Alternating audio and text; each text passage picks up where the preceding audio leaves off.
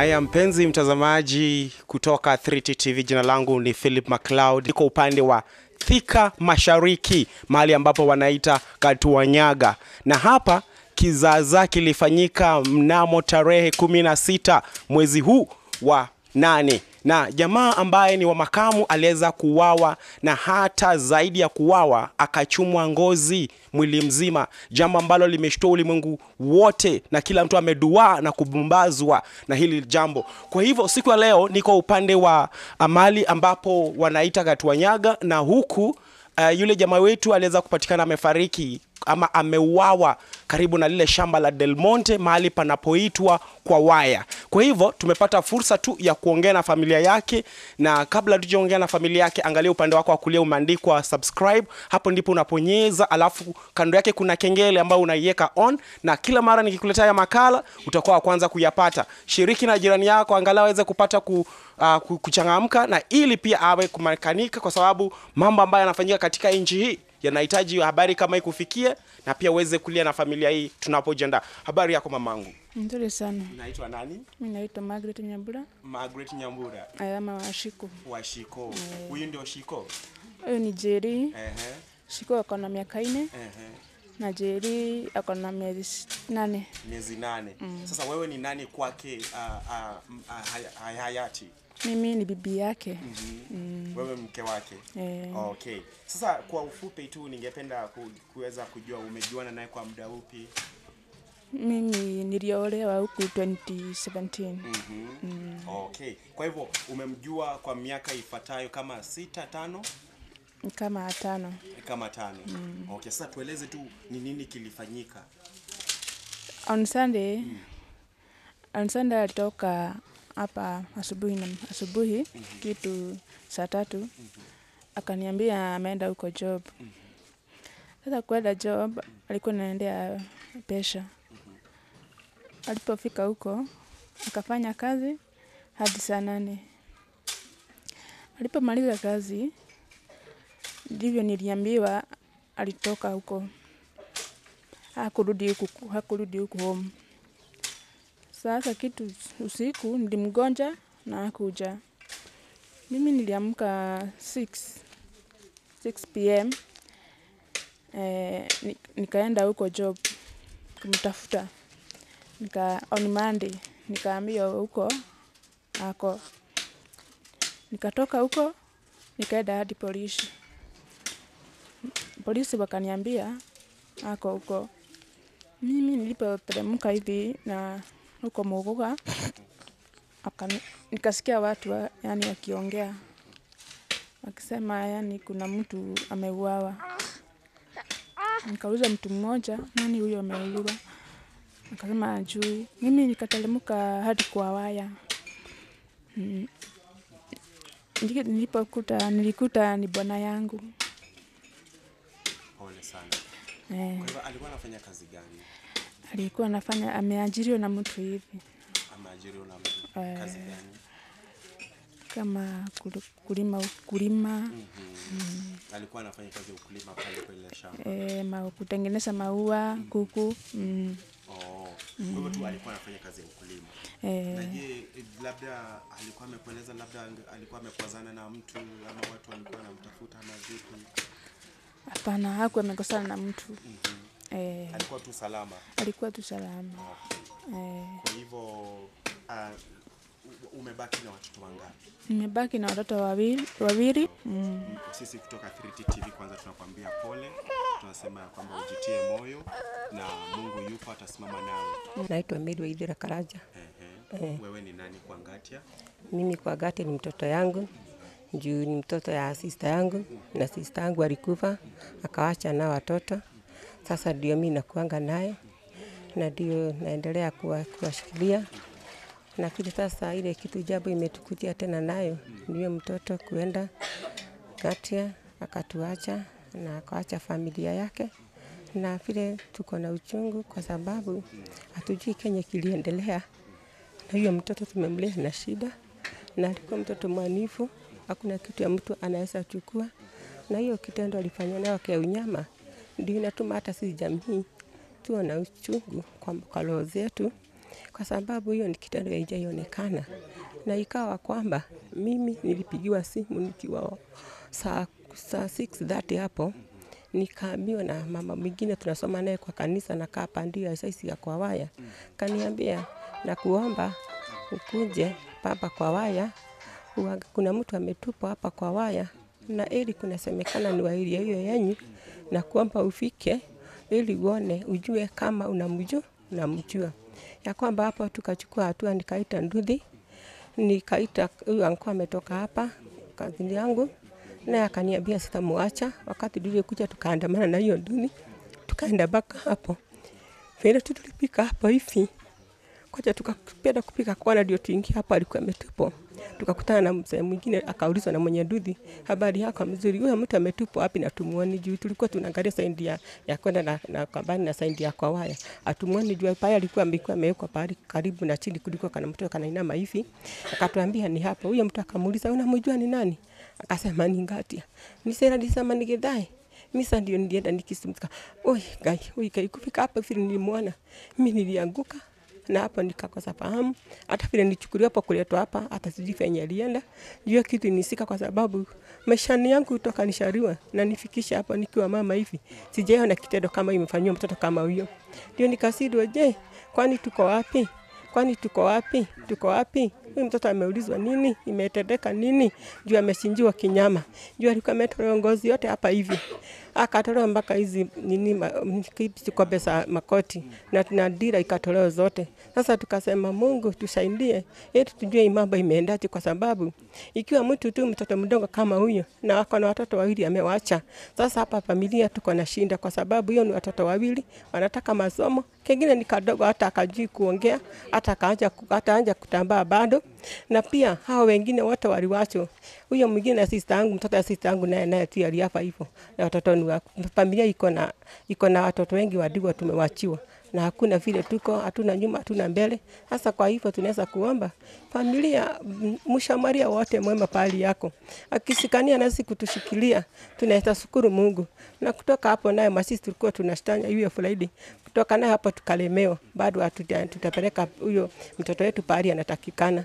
Sasa ndio tunaomba tusaidiwe ikifika on Tuesday, kama tuende tena Somalia, mama tum- tumhusise hawa wengine, nayo naweza kuomba serikali watusaidie, watusike mkono, watujue haki ya mtoto wetu imekuaje ama imekuaje. Juu tunauliza, je, ni nini? Tuko wapi? Tuko wapi? Kama watoto watakuwa wanauliwa kinyama, je, tuko wapi? Juu hatujui next itakuwaje. Tunaomba serikali wachukue hiyo hatua na wasikue hatua mkononi, watusaidie na watu wote mpaka wali wako, hata nani, mtu wote msamaria mwema, hakuna kitu nakata yani tatufikia, twashukuru Mungu. Kwa majina yangu naitwa Francis Gashoe Juguna, mimi mkaaji wa Katuanyaga, na hapa mupo ndipo nyumbani kwa kina marehemu waliouliwa pale kwa waya. Kijana ambaye ameuliwa kwa waya, mimi ni aniko yake, ni mimi tuliwachiwa na mama yake na msasi wake baba yake. Kulikuwa siku ya Jumatatu. Araundi saa moja ikiwa imebaki, tulipigiwa simu ni mama moja ambao tunasoma naye kanisa moja, akatuelezea hapa kwa waya tunapomwona mtu ametupwa hapa, na kunasemekana ametoka wakina Mjoro, ametolewa gosi, amerua kiunyama, kiunyama, kiunyama, hata kitu ambayo imesangaza ulimwengu mzima. Watu waliungana pale pia pamoja na serikali walikuja wakachukua DCI ilikuja na wakaanza kuchukua evidence ambayo hatujui imefika wapi, na mwili kapelekwa Jenokago. From there tumepitia magumu, sababu kijana hana mama wala hana wasasi, short ni kijana ambao anategemea, hana kazi mzuri, ambayo ni mtu wa saba boy. Hii familia iko na watoto wamewachwa, tuko na watoto wengi wamehatima, naye amewacha wengine, so safari ni ndefu na ni ngumu kwa familia, kwa hii jamii, kwa sababu huyu kijana wetu tulikuwa tumetagia, target yetu ilikuwa tumpele, tumzike Friday ambao ni jana, haikuwezekana kwa sababu hatujapata pesa.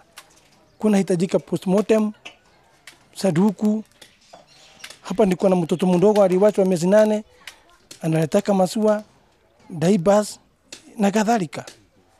So hii ni jambo ambayo tungeomba wananchi ama watadaema waungane pamoja na sisi, walie pamoja na sisi ili tupate usaidizi, tudisikize mwende zake, na tukiona imetadika tutashukuru Mwenyezi Mungu, tambia Mungu asanti, kwa sababu jamii ni jamii imefinyika, hawana bera wala nyuma, na mtu akikufa lazima asikwe. Hiyo ndio jambo ambayo tumeenda tumeungana hapa siku ya Tuesday ndio tulianza mazizi ma, matanga ambao hatu tana ilikuwa baya, watu wanaogopa kukuja area hizi kwa sababu wanasema hawajui ni nani huyu alitenda. Kila mtu ikifika 6 ana disappear, so tuko na mangumu hiyo hawa area hii, wote watu wanaogopa kwa waya, kwa hii tauni yetu ya Muguga wanaogopa, so ni wale familia wako karibu na boma tunaungana nao. Safari tulikuwa taka afanywe postmortem Monday, tukipata pesa. Ambayo ina- ni ta big number 15500 tuko na bili hospitali, tuko na shida jenesa, wala unaona imuji yetu ile kitu inapatikana ndio inakuliwa hapa, sababu hatuwezi kukaa bila ukula. Sasa mambo ni magumu, ni magumu, na ningeomba hata serikali na media ambao tuko nao hapa waigire kati, waone, tuone haki ya mtoto wetu itendeke. Ningeomba serikali yote kuanzia komishina ya polisi wote wajitokeze, wajue kisanga ni gani, kwa sababu inasemekana ulimwengu mzima hakuna mtu amesai kutolewa ngozi. Ndio wa kwanza, watujue kini ya mtoto wetu ambao aulio kiunyama ni nini, na tuone haki ya mtoto wetu na tukipata hiyo haki ya mtoto wetu, roho zetu zitatulia na tutapumzika na tutakaa maisha mazuri tukiwa tumejua what is going on.